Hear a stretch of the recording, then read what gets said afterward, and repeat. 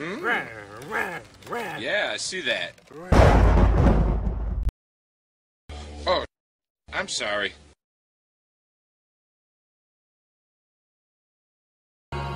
Welcome. My name is Βράχος.